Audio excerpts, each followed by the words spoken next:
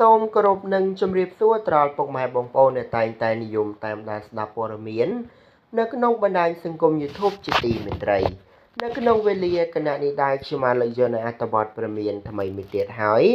ដែលមានចំណងជើងថាទូការរិះគន់ខ្លាំងក្រោយទឹកសុធារីបញ្ជាក់ថាអត់ដឹង relationship និង polo នឹងអីគេ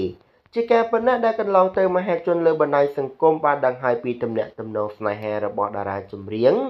ទឹកសុធារីដែលត្រូវបានតារា Facebook សម្ដីផ្អែមលោកចិននិនត្រៈអរុណរស្មីធ្វើការបើកចំហទំនាក់ទំនងស្នេហាជាមួយរូបនាងលើបណ្ដាញសង្គម Facebook ដែលបានដាក់ relationship ជាមួយគ្នាដែលធ្វើឲ្យមហាជន មានការភ្ញាក់ផ្អើលយ៉ាងខ្លាំងដល់ឡែកទៀតសោតបើក្រោយពីបានដាក់ relationship និងបង្ហាញភាពផ្អែមល្ហែមនឹងគ្នាលើបណ្ដាញសង្គមរយៈពេល3ខែស្រាប់តែតារាចម្រៀងស្រីខាងលើ បានធ្វើការប្រកាសបញ្ចប់ទំនាក់ទំនងស្នេហារវាង បាទទាំងពីរអ្នកទាំងពីរទៅវិញជុំវិញរឿងប្រកាសចោចផ្លូវគ្នារបស់អ្នកស្រីស្អាតនិងបរិសុទ្ធសម្ដីផ្អែមមួយគូនេះបានធ្វើឲ្យមានការភ្ញាក់ផ្អើលពីពេញបណ្ដាញសង្គមខ្លាំងនៅប៉ុន្មានថ្ងៃនេះដោយសារតែខាងប្រុសចង់ត្រូវរើគ្នាវិញប៉ុន្តែ ខាងស្រីបដិសេធមិនអាចដូចតាមវិញរហូតធ្វើឲ្យខាងប្រុសឈឺចិត្តស្អិតទ្រូងខ្លាំងបានទម្លាយវីដេអូយំផងកាត់សក់ចោលផងដែលកាន់តែធ្វើឲ្យមហាជនមានការបញ្ចេញមតិធ្វើការវែកញែករឿងរ៉ាវនេះ ជាបន្តបន្ទាប់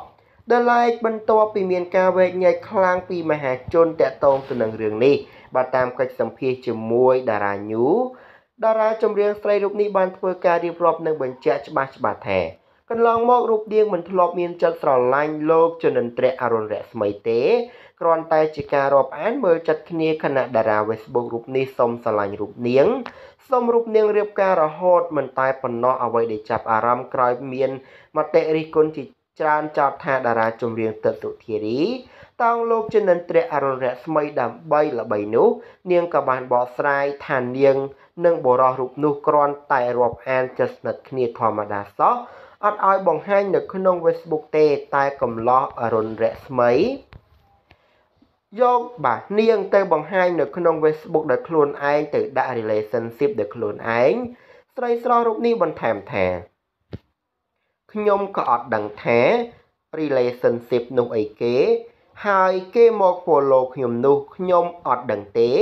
ព្រោះខ្ញុំអត់ចេះលេង TikTok ពេល Facebook ខ្ញុំអត់ដឹងខ្ញុំដឹងតែពីច្រៀង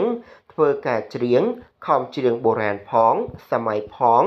មួយថ្ងៃមួយថ្ងៃខ្ញុំអត់មានពេលទំនេរអត់មានពេលលេង TikTok ខ្ញុំអត់ដឹងថាអី follow